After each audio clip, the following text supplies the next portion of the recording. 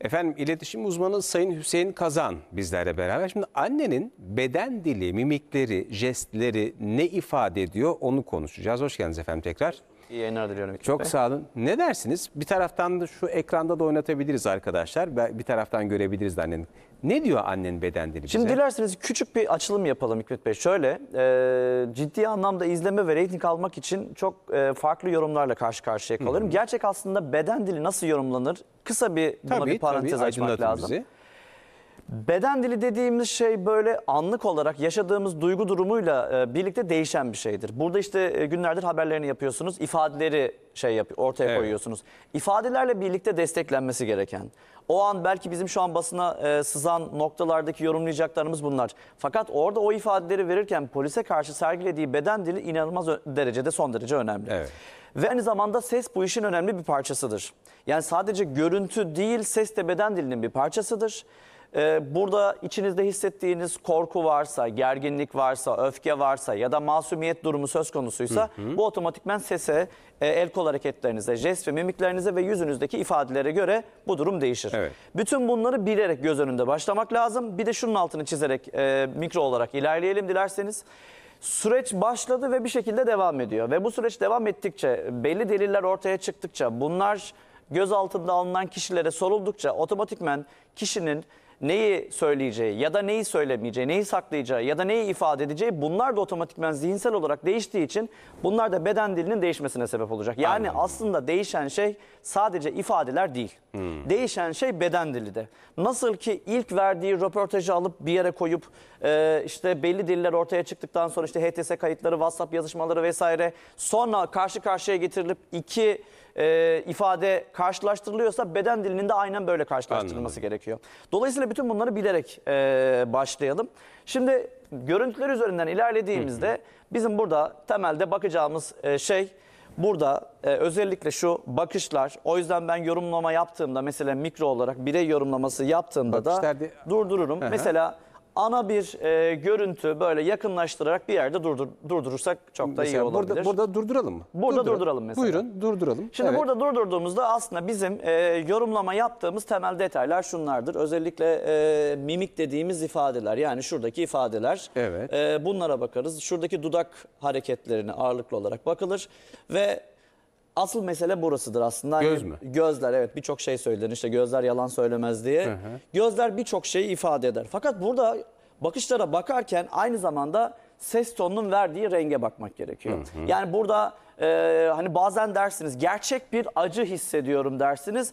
Bazen de şey dersiniz ya inanılmaz derecede soğukkanlı ve e, evet bir acı var ama e, bu kadar da soğukkanlı nasıl kalabiliyor dersiniz. Bu ses de kendini göstermeye başlar. Ya se- Kalamaz mı mesela? Çok soğukkanlı kalamaz mı? soğukkanlı kalabilir. Kesinlikle kalabilir. O yüzden de hani e, şu an soruşturma devam ettiği için keskin şeyler söyleyemiyorum. Belki farklı şeyler de ifade edebiliriz.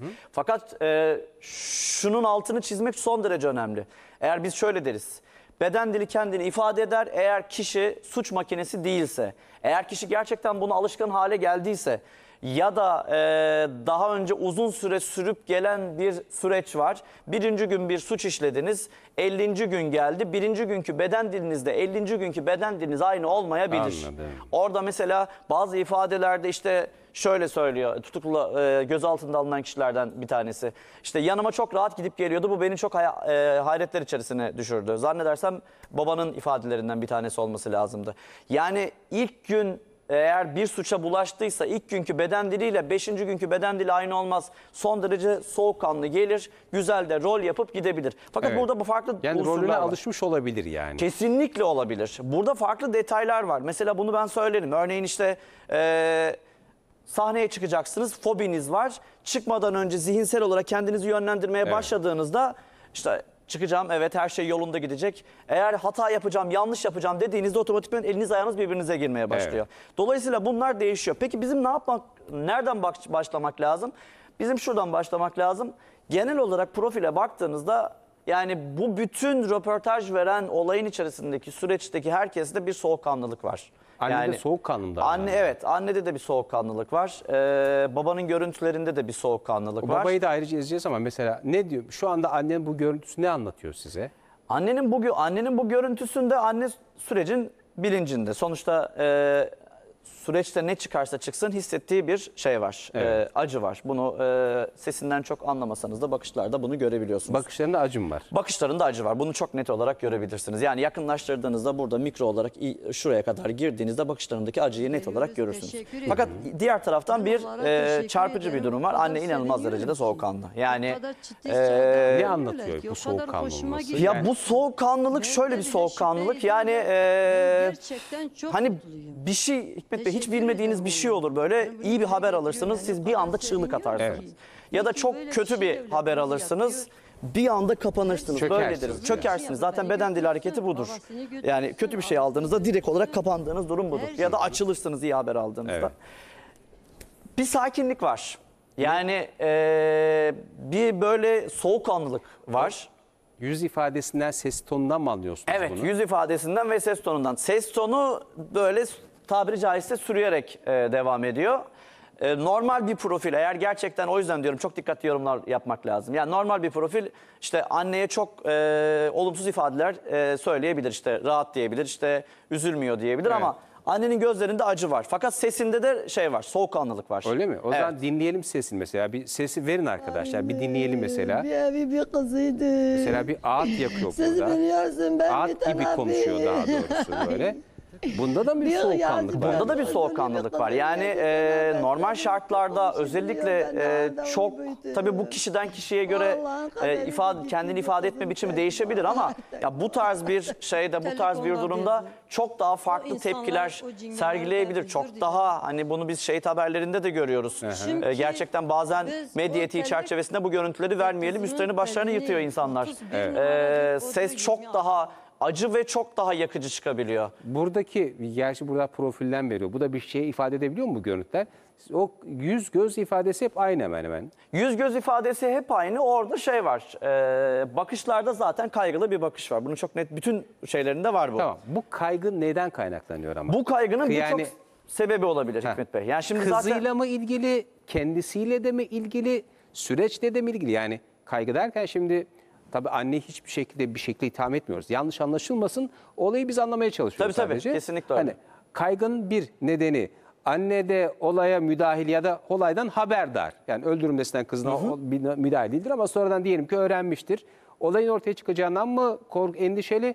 Ee, kızının kaybolmasından dolayı mı endişeli? Başka bir nedenden dolayı da mı endişeli? Bu sorun cevabı var mı bizde? bu sorunun cevabını bizim bu şekilde bu doğrudan vermemiz mümkün değil. Bu sorunun cevabını nasıl veririz biz? Şöyle veririz.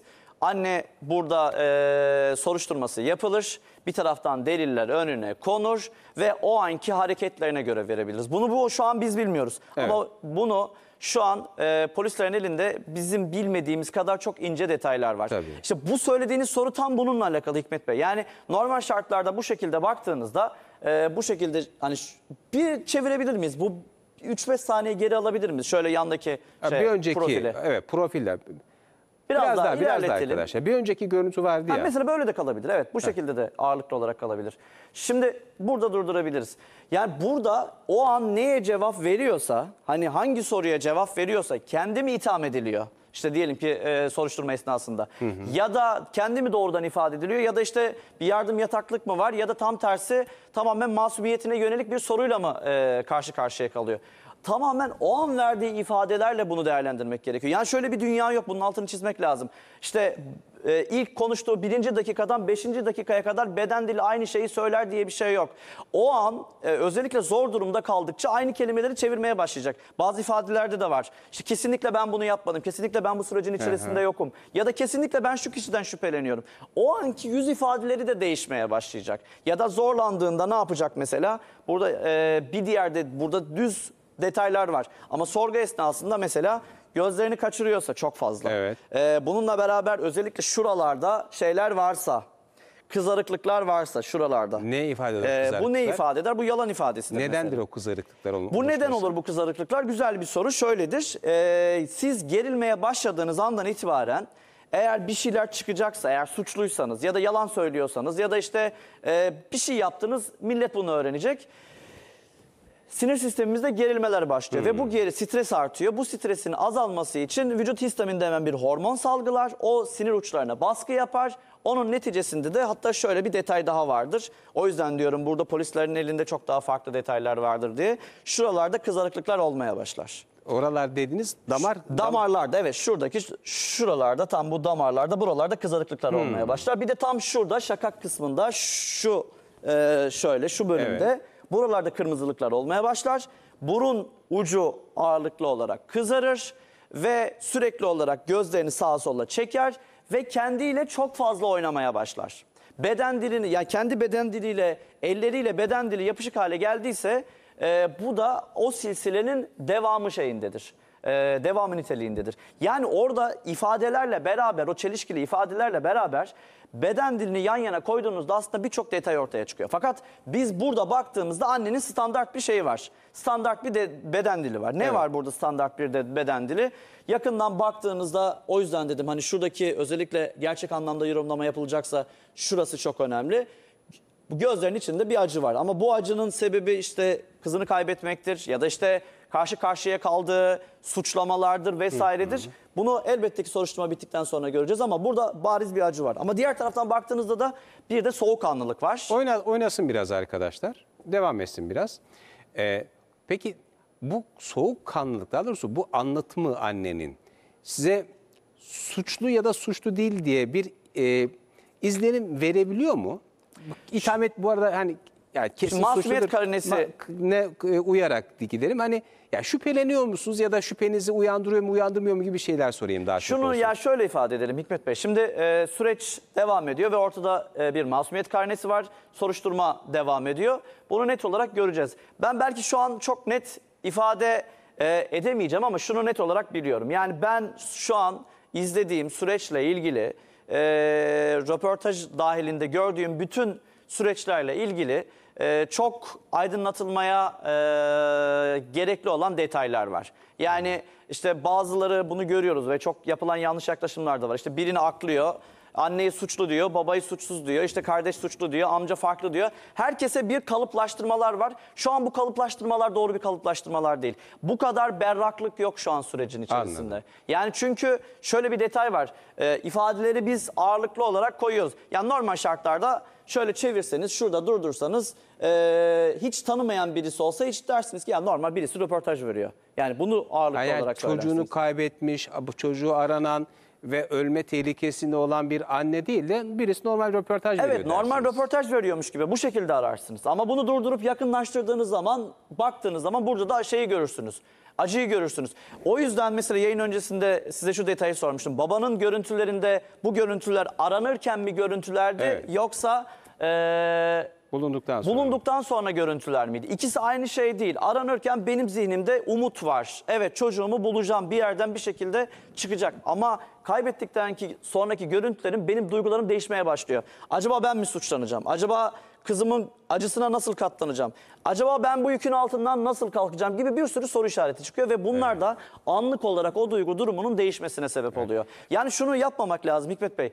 Anlık olarak bir şeyi yansıtıp bu her şeyi söylüyor ifadesi Yanlış beden olur. dilinde yanlış bir ifade, doğru bir ifade değil bu. Yani şimdi nedir diyelim ki siz tanık olarak çağrılıyorsunuz e, soruşturmaya ve size bir olay hakkında görüşleriniz soruluyor. Ardından sizi suçlayarak çağırıyorlar. Diyorlar ki siz de bu işin içinde olabilirsiniz. Hakkınızda deliller var. Tedirgin olarak gidiyorum ben o zaman. Harikasınız. Tedirgin olarak geliyorsunuz. Otomatikmen e, eğer hani suçsuz biri olsanız Ya yapacağım bile bilemem ki. Yani elimi ayağımı nereye koyacağım bilemediğim Heh, cümlesi ortaya Harikasınız. ortaya Ben bunu çıkıyor. eğitimlerde çok söylerim bazen. Çok ince detaylara inerim. İşte e, elini buraya götürdü bu başka bir harekettir. Buraya götürdü başka bir harekettir. Ayaklarını kitledi. Stres rahatlık belirtisidir. Açtı rahatlamıştır. E, kitledi, strese girmiştir vesaire. O an ben mülakatlarda da bu olur. Kendimi ifade edemezsem, gerilirsem, strese girersem istemediğim beden dili de sergileyebilirim. Evet. Yani- Yani yani doğru bir analiz de olmaz o zaman. Evet doğru bir analiz olmaz. Doğru bir analizin yöntemi Çok nedir? önemli. Doğru bir analizin yöntemi budur. Bununla ilgili yazılmış kitaplar vardır. Soruşturma teknikleriyle ilgili yazılmış kitaplar vardır beden diliyle. Nedir? Kişi gelir, kayıt altına alınır, ses tonu analiz edilir, e, ifadeleri yanına konur ve çaprazlama karşılaştırma yapılır. Ee, sorgu derken bu tür olaylarda sizin uzmanlığınızdan da yararlanıyordur değil mi herhalde yani kolluk kuvvetleri, savcılık, yani emniyet. Doğrudan ben biz bunu şeyde e, Adalet Bakanlığı ile özellikle e, arabuluculuk eğitimlerinde e, biz şöyle ifade ederiz. E, taraflar geldiğinde şöyle söyleriz. Onu doğru anla, ona doğru soruları yönelt, doğru iletişim kur diye yüz ifadelerine bak. Gerginse onu rahatlatacak beden dili aç. Diyelim ki konuşamıyor böyle geldi. Aç, yaslan geriye ve şey yap. Ee, onu rahatlatmaya çalış. Ya da strese girdi, öne doğru eğildi, ayaklarını tamamen kilitledi, kendine tamamen kapandı. Biz bunu arabuluculuk eğitimlerinde Evet. tarafların psikolojilerini anla, Evet. beklentilerini gör ve ona göre bir iletişim kur, uzlaştır diye orada kullanıyoruz. Evet ama sizin gibi işin uzmanı, ehil birisi de bu soruşturmalarda yer alıyor mu peki mesela? Sorgu var. Yani hani filmlerde görüyoruz da bir sorgu odası görmedik Allah da göstermesin de. E, o böyle bir kapalı cam arka taraftan. Birileri de izliyor mu mesela? İzliyor. Bunu Yani sizin birileri gibi izliyor. uzman Yani ben birisi bizzat bu izleyip sürecin not alıp- içerisinde evet Yani e, siz değil ama. adli olarak olmadığım için ama Yani not alıp yani polise işte şurada bak biraz problem Evet. gibi bilgi de veriyor. Bunlar bunlar izlenir. Bunlar sadece adli süreçlerde değil, aynı zamanda e, müşteri profillemelerinde de kullanılır Hikmet Bey. Bir taraftan bir görüşme gerçekleştirilir, diğer taraftan kayıt altına alınır ve bunlar tek tek analiz edilir. E, emniyet bunu kullanıyor. Bunun altını net olarak çöz, çö- şey yapayım, ifade edeyim. Evet. E, hatta bir gün bir e, üst düzey bir arkadaşla konuşurken işte şu işi şu kişiyle çözebilir miyiz dedi. Ben çözemeyiz dedim. Nereden anladın dedi. Bakışlarından ve mimiklerinden anladım dedi. Şöyle bir ifade kullandı. Dedi ki şuradan mı dedi. Evet. Evet dedim ben dedim buradan çözüyorum, buradan bakıyorum. Biz de oraya odaklanıyoruz demişti. Yani emniyet bunu aktif olarak kullanıyor. Bunları altını çizeyim ve eğitimlerini de alıyorlar. Evet. Özellikle uzman bir ekip bunun eğitimlerini de alıyor. Bu sadece cinayet meselelerinde falan değil. Yani e, diğer bütün sorgulama süreçlerinde beden dili bu işin bir parçasıdır Hikmet Bey. Evet. Bunun özellikle altını net olarak çizelim. Ee, biraz da babayı konuşmak Konuşalım. isterim. Şimdi babayı da arkadaşlar verin ekranlara. Baba ilk röportajını sevgili seyirciler A Haber'e verdi dün akşam. Mehmet Geçgel bir gazetecilik başarısıyla ilk kez babayla bir özel röportaj gerçekleştirdi. Bunu söyleyelim. Ee, babanın kız bulunduktan sonraki görüntüsü bu. Dün akşam kayıtlara geçti. Şimdi sizi yönlendirmek istemem ama e, bütün herkesin bu konuda hemfikir olduğu bir konu var. Babanın bu konudaki en masum kişi olduğuna dair. Ne diyorsunuz babanın e, izledikçe? Şimdi o yüzden söylüyorum. Yani keskin şey yapmamak lazım, konuşmamak lazım. Babadaki özellikle e, teskinlik şuradan kaynaklanıyor. Babanın e, özellikle kolluk kuvvetlerine, e, adli birimlere e, bir güveni var ve bunu her defasında ağırlıklı olarak şey yapıyor. E, ağırlıklı olarak ifade ediyor. Zaten yapılan yorumlamalarda da işte hani suçlu kimse, eşimse de işte kardeşimse de ortaya çıksın ağırlıklı olarak şey yapılıyor. Şimdi arkadaşlara dikkat çektiği bir konu var. Bakın böyle omuzlar çökük, böyle yani Omuzda bunlar şeydir, yığılmış böyle çökmüş tabiri caizse. Bu yüz bir ifade. ifadelerinde de var. He. Yani nedir bu? Siz iyi hissederseniz dik durursunuz, kafayı kaldırırsınız. Baba göz teması bile kuramıyor. Tamamen şeyler düşmüş durumda. Bir önceki görüntü arkadaşlar daha iyi olabilir. Hani daha böyle çökmüş hali var. Bu.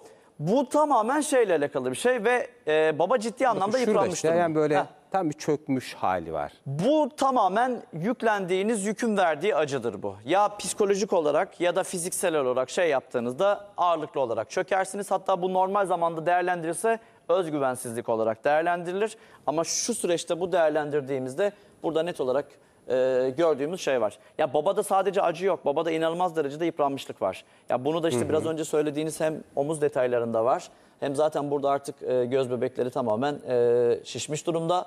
E, kapaklar, göz kapakları açılmıyor bile. Yani Biraz o devam etsin gelmiş arkadaşlar. durumda. Evet. O böyle e, elleri önde kenetlenmiş vaziyette falan bir şey anlatıyor bize. Şu hareket, ha, şurada bir durduralım arkadaşlar. Ha, burada şöyle bir kalalım. Şu normalde stres belirtisidir. Yani e, bu şekilde eğer tamamen e, kapatıp şu dengedir. Biraz akıtalım arkadaşlar. 3-5 saniye daha bırakalım. Evet böyle bir kalalım. Normal şartlarda eğer sizin bıraktığınız gibi Hikmet Bey ya da benim tuttuğum gibi bu şekilde bırakırsam problem yok. Babada şey var, eee, kapanma var. Babada sürekli olarak içe bir şey var, içe bir kapanma var ve e, bu süreç içerisinde özellikle en yalnız bırakılan kişi konumunda aile içerisinde. Yani ne anlamda söylüyorum bunu? Şu anlamda söylüyorum. İşte baba e, masumiyet karnesi çerçevesinde olaya bulaşmamış kişi olarak bir kenarda duruyor. Geri kalan hemen hemen herkes farklı şekilde e, kimisi tanık olarak, kimisi işte e, suçlamalarla sürecin içerisinde. Babanın burada yaşadığı ciddi şey var. Yani o süreç içerisinde o günden bugüne kadar babanın neler yaşadığı, kimle nasıl diyalog kurduğu ve bunlar içerisinde ne kadar halledebildiği bu ciddi bir sorunsal. Bunun özellikle altını çizelim. Ya baba, babada çok ağır bir yıpranmışlık var, ağır bir yük var. Bunun altını net olarak çizeyim. Ama şunu da söyleyeyim. Yani e, baba budur e, ve kesinlikle bu sürecin içerisinde ağırlıklı olarak e, yoktur e, gibi söylemler de soruşturma bitmeden e, bu tarz yaklaşımlara bakılarak söylenebilecek söylemler kesinlikle değil. Yok yani biz buna karşı söylemedik. Sadece yani babanın olay gerçekleştiğinde şehir dışında olması, olaydan sonradan haberdar olması ve işte bu o ilişki, girift ilişkilerde bir payının olmamasından yola çıkarak söylenen cümleler bu bir kanaat tabii yani. Belki Allah göstermesin. İnsan baba katil, şey, şu evlat katil de olabilir, başka şey de olabilir. Ama bu kanaati söylemek istedik. Baba bu konuda Şurada bütün kana, herkesin kanaati. arkadaşlar. Burasını donduralım. Evet. Evet. Siz Bütün herkesin kanaati bu. Yani baba bu konuda en masum kişi diye söyledikleri için belirtmek istedim. Yoksa biz de konuya tam yüzde yüz hakim değiliz tabii. Bu arada bir- çok az vaktimiz kaldı. Birkaç cümledir rica Hemen şöyle ediyorum. ifade edeyim. Şimdi normalde şu profile baktığınızda bu profil yıpranmış bir profil. Yani duygusal olarak yıpranmış, psikolojik olarak ağırlıklı olarak şey yapmış, e, yıpranmış. Bir yükün altında ezilmiş ama bütün buna rağmen inancını koruyan, özellikle adalete karşı inancını koruyan bir şey var. E, inancını koruyan bir profil var. Normal şartlarda bu profile karşı olumsuz hiçbir şey söyleyemezsiniz. Ama içinde ne yaşıyor? Ne tarz durumlarla karşı karşıya? Kim o babayla nasıl bir iletişim içerisinde? Babayı babaya karşı bir baskı var mı yok mu? Ee, bir tehdit var mı yok mu? Bütün bunların hepsi de babanın beden dilini değiştirebilecek etkilere Anladım. sahip. Bir akıtsanız arkadaşlar. Bir şey merak ediyorum. Sürem de doldu aslında ama. Şimdi baba konuşurken bakın hep böyle aşağı bakıyor. Yani arada sırada kafasını kaldırıyor Mehmet Geçgel'e bakıyor. Sonra bakın hep konuşurken sebebi aş- vardır bu aşağı Hikmet doğru Bey. bakıyor. Bunun iki sebebi vardır. Birincisi bakışlar dediğim gibi çok şey söyler. Genelde biz yorumlamayı oradan yaparız. Ee, bakışları çok saklayamazsınız. Beden dilinizi bir şekilde idare edersiniz, bakışları saklayamazsınız. Birincisi bundan kaynaklı olabilir. İkincisi de gerçekten artık takati kalmamıştır. Ee, siz de biraz önce dediniz ya omuzları artık ciddi anlamda düşmüş durumda. Gerçekten takati kalmamıştır artık. ee, ya ayakta duracak bile hali yok diyebileceğimiz iki sebeptir. Üçüncü bir sebep burada genelde söz konusu olmaz. Anladım. Peki. Hüseyin Bey çok teşekkürler efendim. Ben Yine teşekkür katılımınız ederim. ve kıymetli açıklamalarınızdan dolayı efendim. Çok sağ olun.